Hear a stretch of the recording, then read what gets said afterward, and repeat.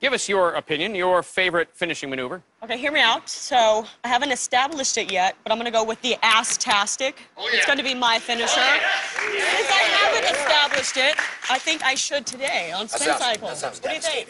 Um, I mean, we don't have a ring set up here. You know what, Orlando? I'm gonna need you to be my little dummy here. Can I bring you out over there? Orlando, would you mind?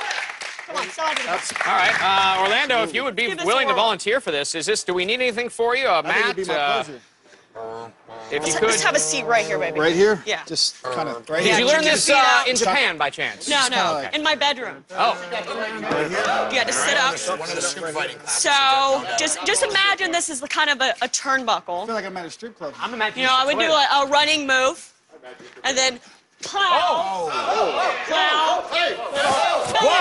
One, two, three. Oh.